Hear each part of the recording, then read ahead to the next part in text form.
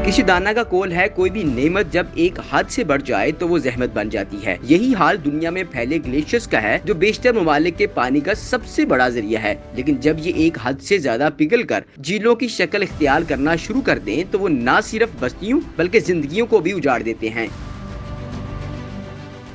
पाकिस्तान में कुतबी इलाकों को छोड़कर दुनिया के किसी भी मुल्क के मुकाबले में सबसे ज़्यादा ग्लेशियर्स हैं, जिनकी तादाद सात हज़ार बताई जाती है। अकवा मुतहदा के इदारे बर तरक्याती प्रोग्राम की एक रिपोर्ट के मुताबिक, हिंदू कश हमालिया में तीन हज़ार चौवालीस ग्लेशियर्स झीलों में बदल चुके हैं। जिनमें से तैतीस झीलें ऐसी हैं जो किसी भी वक्त खतरे का बायस बनकर इकहत्तर लाख तक अफराद को मुतासर कर सकती है।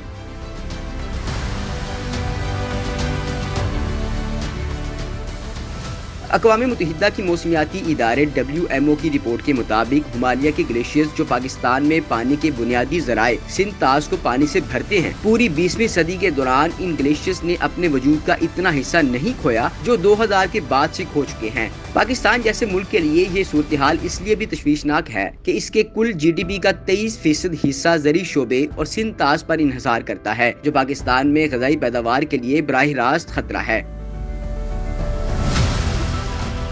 नासा ने कुछ अर्सा पहले ग्लेशियर्स की तेज़ी से पिघलने की रफ्तार पर एक रिपोर्ट में ये इंकशाफ किया था कि दुनिया भर में ग्लेशियर्स के झीलों में तब्दील होने के वॉल्यूम में 150 मकाब किलोमीटर इजाफा नोट किया गया है, जबकि उन्नीस सौ चौरानवे और 2017 के दरमियान दुनिया की ग्लेशियर झीलों में पैंसठ खरब टन पानी का खराज हुआ है। माहरीन तवातर ऐसी पिघलते ग्लेशियर्स की वजह मौसमियाती तब्दीलियों को ठहराते हैं, जबकि इसके साथ मुतासरा इलाकों में जंगलात की कमी और तेज़ी ऐसी दरख्तों की कटाई को भी ग्लेशियर्स के पिघलने की वजह करार दिया जा रहा है।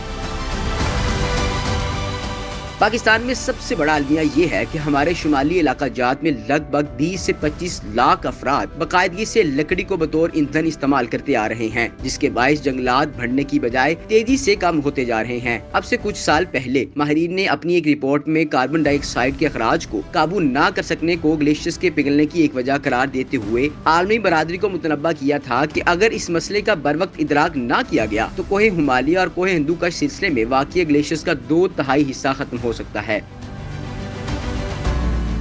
दर्जा हरारत को एक अशारिया पाँच डिग्री तक महदूद भी कर दिया जाए तो भी इन ग्लेशियर्स का एक तहाई हिस्सा खत्म हो जाएगा। जो इस इलाके में रहने वाले आठ ममालिक जिनमें पाकिस्तान, बांग्लादेश, म्यांमार, अफ़गानिस्तान, भारत, भूटान, नेपाल और चीन शामिल है। के तकरीबन पच्चीस ऐसी तीस करोड़ अफराद के लिए पानी का वाहिद ज़रिया है। गुजशत एक दिहाई ऐसी ग्लेशियर झीलों की वाकियात में इजाफा देखने में आया। गुजशत साल शुमाली इलाकाजात में पर ग्लेशियर की वजह ऐसी पाकिस्तान और चीन को मिलाने वाली शहराय कराक्रम मुकम्मल तौर पर बंद हो जाने के सबब दोनों दोनों मुल्कों के दरमियान कई रोज तक जमीनी रास्ता मुकता रहा था।